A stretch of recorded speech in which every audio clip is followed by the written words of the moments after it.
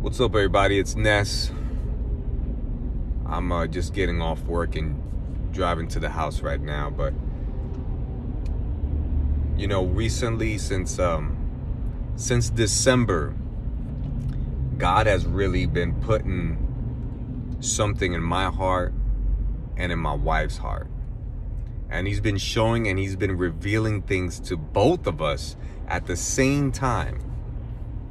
And what that is, is that the church here in America is not moving with the power and authority that the scriptures talks about.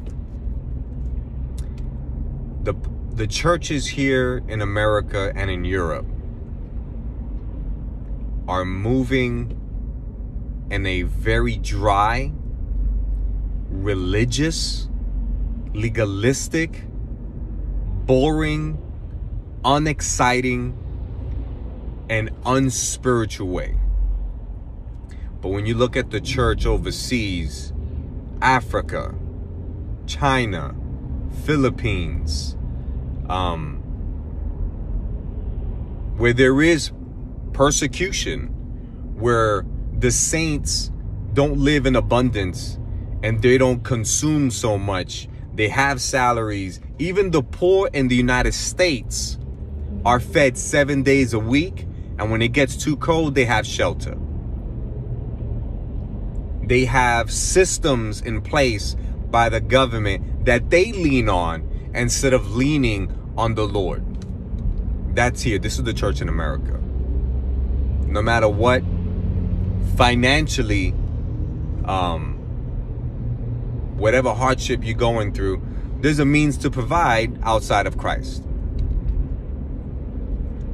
The church here in America reminds me of when Jesus cast out a, a legion of demons from the man that was at the cemetery. And those of you that are familiar with that story says that the they could not bind him with chains, shackles. He was naked, violent, and no one can tame this man. What amazes me is that when Jesus cast out demons that was in this man's body into swine, and the scripture says that the man was dressed and in his right mind. The reaction from the religious folks was they got scared and they told Jesus, You got to leave. That's the American church, that's the European church. It's all about a salvation prayer. And let me get be part of a little group, a little social club. But when it comes to being real, right? Not a prosperity gospel, but when it comes about hardship, when it's talking about spiritual warfare, when it talks about talking about the devil and demons and the fallen state of the world and how you fight and how you persevere, because it says in Ephesians that we have arrows from the enemy every single day. So therefore, be ready, put on the armor of God, which is the Holy Spirit, to surrender to the Lord, resist the devil, and he will flee. When it talks about demonic oppression, when it talks about how we are to walk as believers according to Christ, that we would do greater things like healing the sick, casting out demons, trampling over snakes. The church don't move that way. As a matter of fact, the church says that's demonic. Speaking in tongues, that's demonic. Casting out demons from people, especially those that call themselves Christians. Oh no, Christians can't have a demon. I'm not saying Christians can be possessed by a demon, but you sure are under attack. You sure are oppressed. You sure can possess one. And yes, I believe in generational curses, familiar spirits, demons that know you very well and have been around in your family tree. Because guess what? When a family member dies, that person passes away, but that demon don't die. It get passed along. That's why you see so much in the scriptures about, you know, uh, well, this person is suffering. Um, did, did, did, did he sin or his father sin or whatever it is? And many times, of course, you know, that wasn't the case. But there's something to it. We're called to fight. We're called to walk in power. I've said this before, but let me tell you right now, um, the devil is a created being.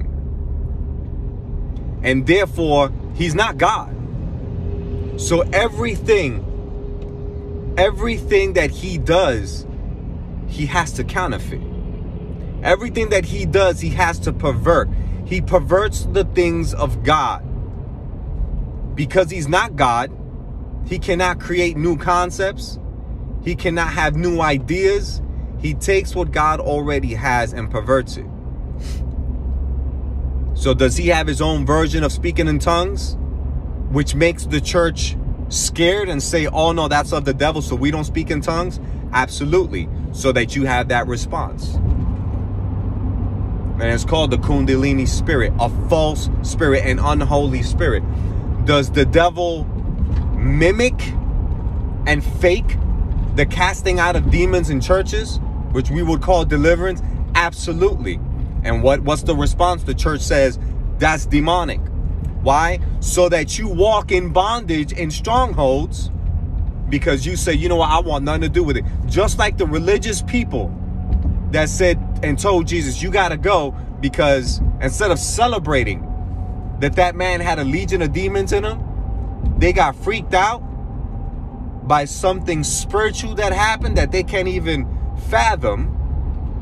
And they, they, they say, you know what, Jesus, you got to go. That's how the American church reacts to the spiritual. And the devil wins. That's why you have carnal Christians showing up on Sunday with dry bones, oppressed, suicidal thoughts, stuck in a rut, don't read their word, don't feed themselves. And then to the outsider, that's the God that that I want? That you're telling me I should have when you look defeated? There's more to it than that, y'all.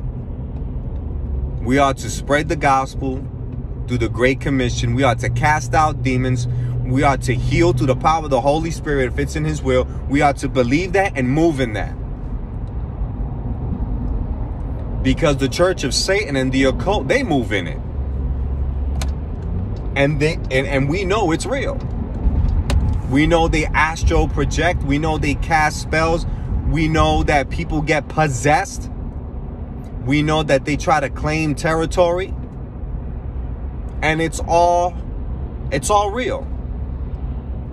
but where do they get it from? They get it from our God. They get it from our scriptures. They get it because that's the way we're supposed to move. But they move that way and the church is dead. We live in a, uh, uh, the era of the last church, the Laodicean church. The church that thinks that is rich, but we're broke. We're wretched. We have nothing. Why? Because we do not understand the Holy Spirit, which Jesus said, I must, I must leave and leave you another, which will always be with you so that we move in power. What power? What power is that? A supernatural power through the Holy Spirit. Do you know why so many people, especially the youth, the younger generation, they they're so attracted to the occult and new age and stones and Wicca and all this stuff? Because they're attracted to the supernatural. And they see the church operating in an unsupernatural way. When we have power, instead they just see legalism, they see laws, they see dryness, they see defeat. And they're being enticed by a demonic power that's copying the way that the believer should move. If the United States church, the American church would wake up and we would move in power. Just like Jesus said, casting out demons, healing, and, and, and really showing the power of the Holy Spirit, man, that would be game changer. It would be game a game changer because that's evidence. That is evidence of the power of God and how we how we would move. It would be undeniable. We need to wake up, man. We need to wake up. So the message for 2024 for the church is I truly, truly believe that this is a year of restoration for our families as believers. I'm talking about the saints, restoration in our families, and unity within the church. Sunday has always been known as the most divided day for the Christian church because of all these denominations. You know what? We need unity within the Christian faith. As long as Jesus Christ is Lord and Savior, and there's no other way to obtain salvation but through the blood of Christ, and He is Savior, and He is God in the flesh, who died and was physically resurrected, the fundamentals that cannot be changed or corrupted, everything outside of that is not is not a salvation issue. And the church needs to get together, be united because the Lord is coming back. Not for a divided church, but a united church. And don't get my words twisted. I'm not talking about a universalism type of unity. I'm not talking about a one world religion type of, oh, we just accept anything for the sake of unity. No, you keep salvation what it is. We don't we don't waver in that. But if you don't believe in tongues, we shouldn't be divided about that. If you don't believe in the rapture at all, or you do, you just don't know where it falls, pre, mid, or post, you shouldn't be divided about that. If you don't believe in deliverance, you shouldn't be divided about that. But the church needs to be united because we we already have enough enemies. Like it says in First John, the world hates you. But we already do a good job hating one another. This is a year of restoration in families and unity in the church. But it's also a year of deception, delusion, and a lot of demonic activity for the unbeliever, for the world. It's going to get dark. But when you see these things, look up because the Lord is coming. That day is drawing near. Drop me a comment. Tell me what you think. Say what's up. We need unity this year for 2024. God bless in Jesus' name. Peace out.